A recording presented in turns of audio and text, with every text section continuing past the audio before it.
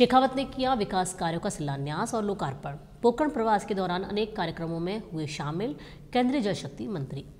केंद्रीय जल शक्ति मंत्री शेखावत शुक्रवार को पोखरण के साकड़ा, नेडान, भणियाणा फलसुंड भिखोलाई, राजमथाई, बलाड, दातल अजारसर और दिधु और झायड़ में अनेक कार्यक्रमों में शामिल हुए। साकड़ा में रात्रि विश्राम के बाद शेखावत को सुबह गार्ड ऑफ़ ऑनर दिया गया। फिर उन्होंने पोखरण विधायक महेंद्र प्रतापपुरी महाराज और अन्य जनप्रतिनिधियों के साथ अनेक स्थानों पर विकास कार्यों का शिलान्यास और लोकार्पण किया। जहाँ बीमार, वहीं उपचार के प्रधानमंत्री के संकल्प को साकार करने की मुहिम के तहत अनेक स्थानों पर सामुदायिक स्वास्थ्य केंद्रों, आदर्श वार्ड आमजन के लिए समर्पित किए।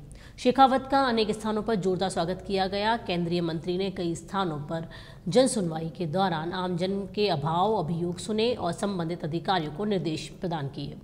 केंद्रीय मंत्री शेखावत विधायक प्रतापपुरी के साथ निकटवर्ती नैडान पहुँचे, जहाँ नवनिर्मित एनिकट का अवलोकन किया। उन्होंने फलसुंड सामुदायिक स्वागत केंद्र में आदर्श वार्ड, तहसील कार्यालय के मुख्य प्रवेश द्वार high mast light, solar street light, राजकीय उच्च माध्यमिक विद्यालय के प्रवेश द्वार का लोकार्पण किया। भिखोलाई पहुँचने पर केंद्रीय मंत्री का ग्रामीणों ने उत्साह के साथ अभिनंदन किया। शेखावत भिखोलाई में जनसुनवाई की और लोगों की समस्याओं को सुना। अनेक मामलों में तत्काल संबंधित अधिकारियों को फ़ोन कर निर्देश दिए। शेखावत ने राजमथाई में एनआर मॉडल स्कूल के वार्षिकोत्सव में भागीदारी निभाई और बच्चों से संवाद कर उनका उत्साहवर्धन किया। बडाल में राजकीय उच्च माध्यमिक विद्यालय में अतिरिक्त कक्षा कक्ष का शिलान्यास किया।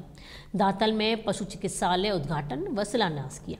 साकड़ा प्रधान भगवंत सिंह तंवर, जैसलमेर प्रमुख प्रताप सिंह सोलंकी भणियाणा प्रधान पूर्व विधायक सांग सिंह, पूर्व विधायक शैतान सिंह सहित अनेक गणमान्य जन शेखावत के साथ उपस्थित रहे। शनिवार को केंद्रीय मंत्री शेखावत भादरिया से सुबह नौ बजे राजकीय उच्च माध्यमिक विद्यालय में अतिरिक्त कक्षा कक्ष का शिलान्यास करेंगे।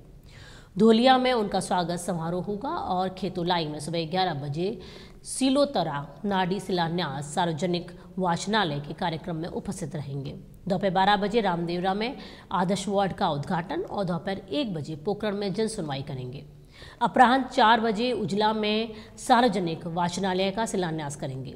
उसके बाद शाम पाँच बजे झालरिया में रावलकोट में सार्वजनिक वाचनालय का शिलान्यास करेंगे।